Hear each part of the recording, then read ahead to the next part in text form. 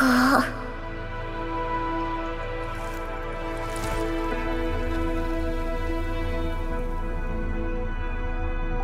あなたの戦う姿と強烈な生命力。見るだけでドキドキしちゃ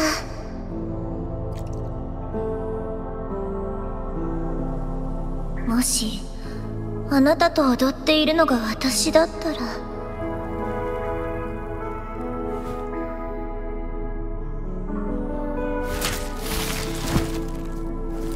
手を貸そうとしたんだけど。見ればわかるよ。私はただ楽しすぎて。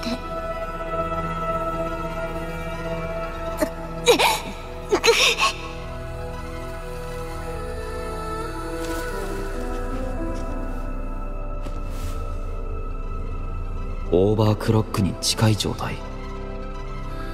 さっきも治療ポットの話をしてたけどよくこうなるのか？そうだよ。もしかして心配してくれるの？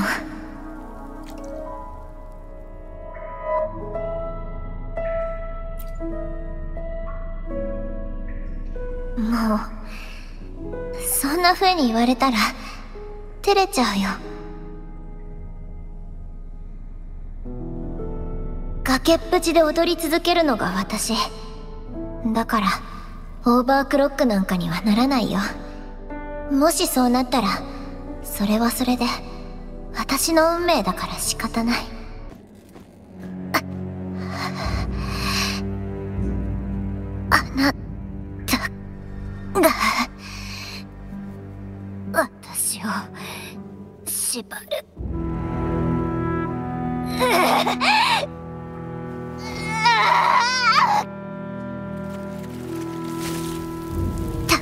の声がノイズが苦しい。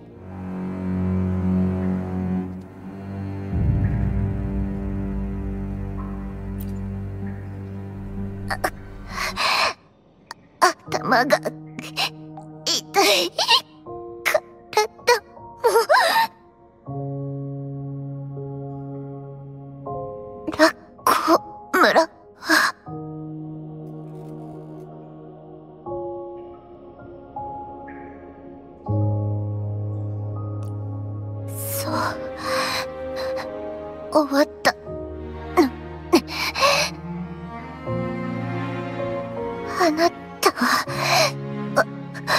私を。倒した？もっと前に。あなたに会った気がする。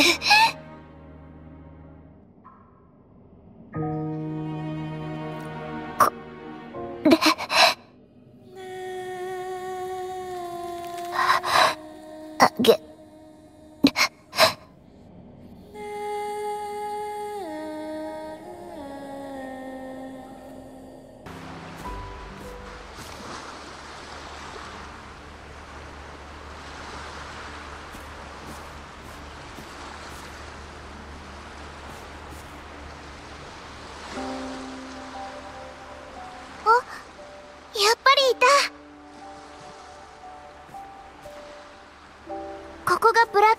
って聞いてきてみたけどやっぱり来て正解だった。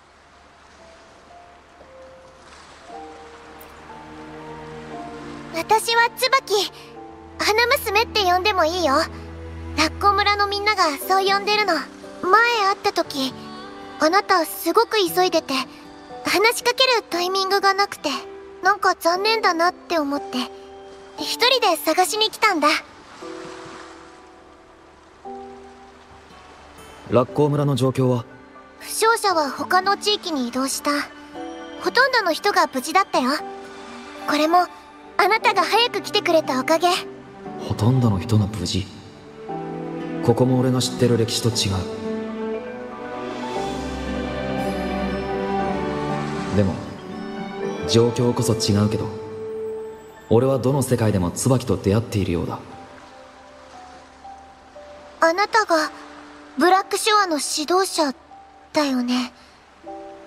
えっとその上陸する許可はもらってないんだけどお願い許して。今は共鳴能力もあるし何か手伝うから。えっとわからない。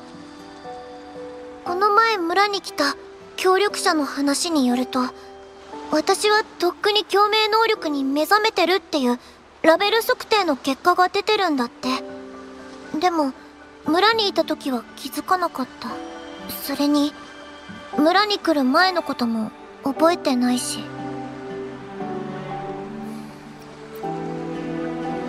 うん。私ある秋の朝に湖の近くの森に突然現れたんだって。村の人が言ってた。でも私にはそれ以前の記憶も行くあてもない。だから村に住まわせてもらってるの。お願い。このままブラックショアにさせて。私あなたの鼻持ちになりたい。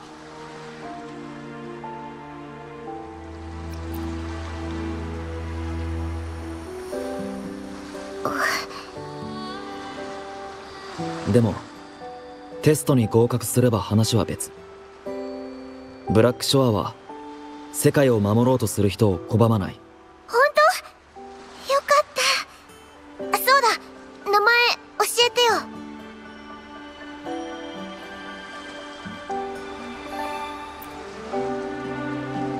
ありがとう。いい名前だね。絶対忘れない。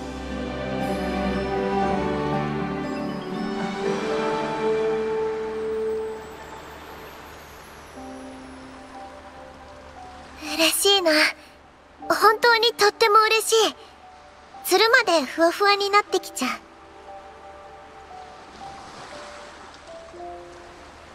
う。でもなんかちょっと変な感じも。ちゃんと話すのは初めてなのに。その名前どこかで聞いたことがあるような。見て。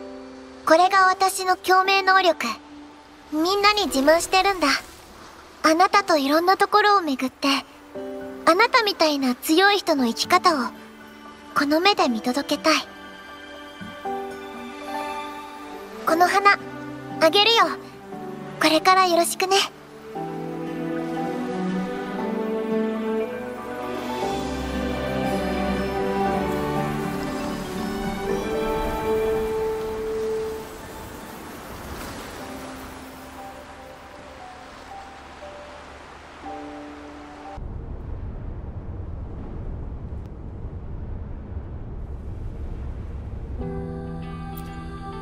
あ来たんだ。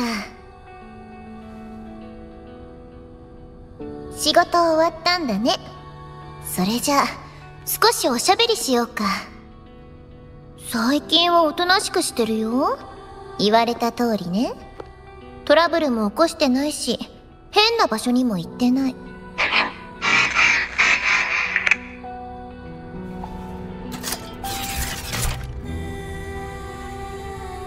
空気の読めないやつ私と漂白者の時間を邪魔するなんて。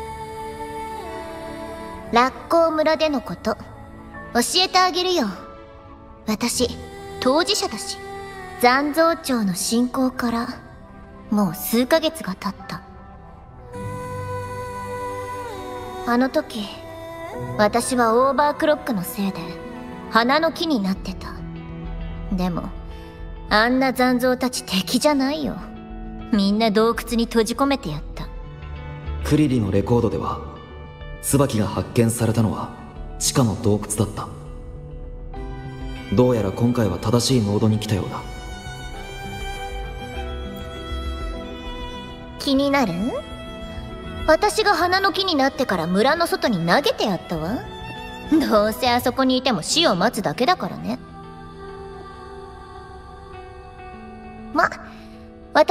けられたのはほんの一部だけ。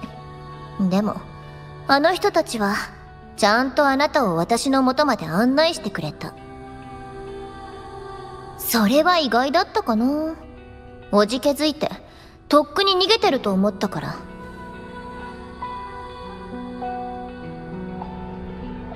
私そんな弱い人たちには興味ないの。今回は村に住まわせてもらった借りを返しただけ。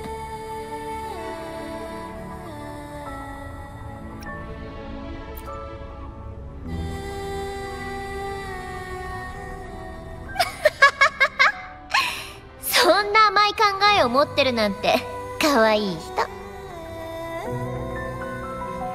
私は思ったままのことを話しただけ。弱い奴らに構う暇なんてない。私が植物に変異してた時何もできなかった。笑えるほど無様だった。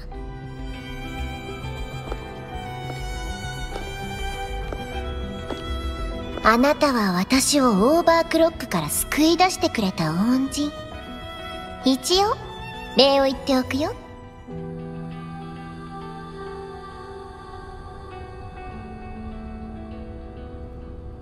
ラッコー村に来る前のことはもう覚えてないけどあなたは私が唯一興奮する相手。どう？私を鼻持ちにする気はない？私を野放しにしたら何をするかわからないよ。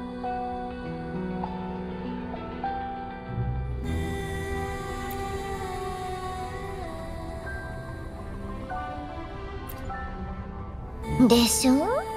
なら私を鼻持ちにした方がソラリスのためになるし厄介事も減る。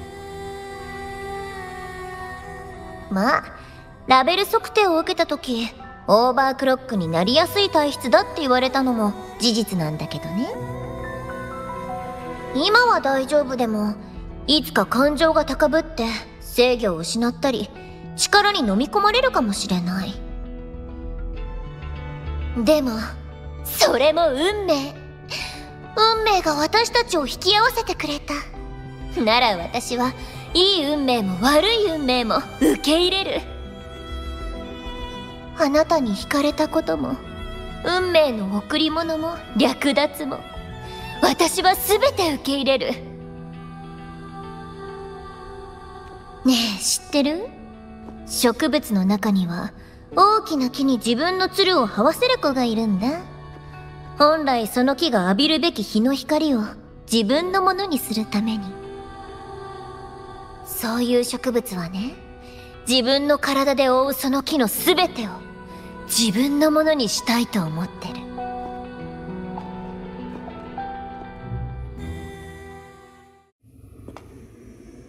これからは一緒にいる時間も多くなるしじっくり。たっぷり。私と。遊べるね。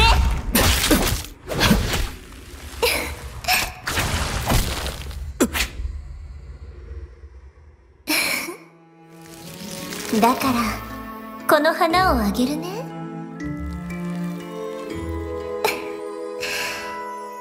私の大切な。正しいノードを見つけた。ワープを開始する